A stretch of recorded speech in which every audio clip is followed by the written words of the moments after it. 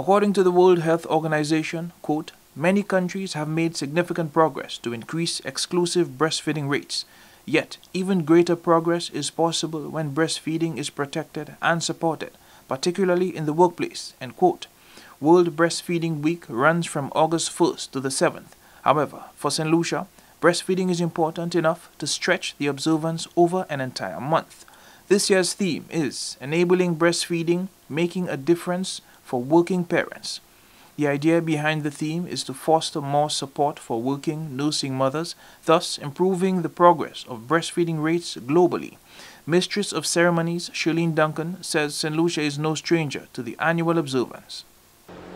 During the month of August, the Ministry of Health, Wellness and Elderly Affairs has embarked on a series of workshops for its clients, and this one is one of many.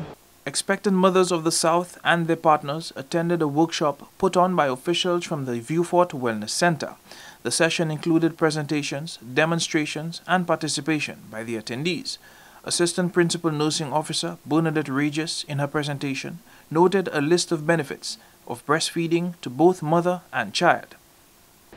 We hope that this awareness allows for working mothers to express their breast milk at their various workplaces and have a suitable fridge where it is stored.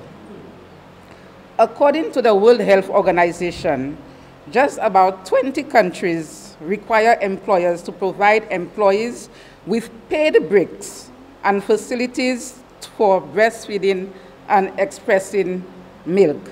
Chief Medical Officer Dr. Sharon Belmar George brought to light further struggles of employed nursing mothers.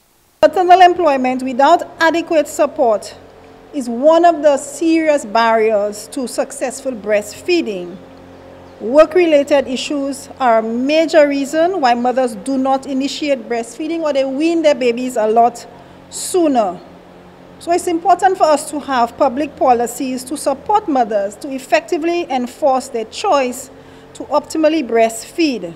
According to nutritionist Francilia Joseph, a mother's nutrition during the lactating period is very important. We're saying to you, eat whole foods, not even while for the baby, but for yourself as well. Because in order for you to have a healthy baby, you need to give the baby the nutrients that the baby needs in order for the baby to grow the way that he or she is supposed to grow. And in order for you too to be able to produce enough milk. Health Minister Moses Jn Baptiste says his ministry has already begun providing maternal care through Universal Health Coverage Phase 1. Providing further support for nursing mothers, he says, is the next conversation. I will go back to the Cabinet of Ministers and to the Prime Minister to say to him that since we have delivered this one, now we have to work on the workplace, um, space in the workplaces for breastfeeding.